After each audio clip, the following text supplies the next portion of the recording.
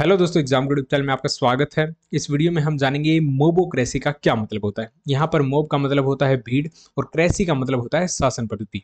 तो मोबोक्रेसी का मतलब हो जाएगा भीड़ तंत्र, जहाँ पर भीड़ के द्वारा राज किया जाता है। यानी एक ऐसी स्थिति जिसमें जनता या लोगों, एक समूह सरकारी निर्णयों पर नियंत्रण करता है। ठीक है, जो सरकार होती है, वो भीड़ के कंट्रोल में होती है तो वो क्या कहलाएगी? मोबोक्रेसी कहलाएगी।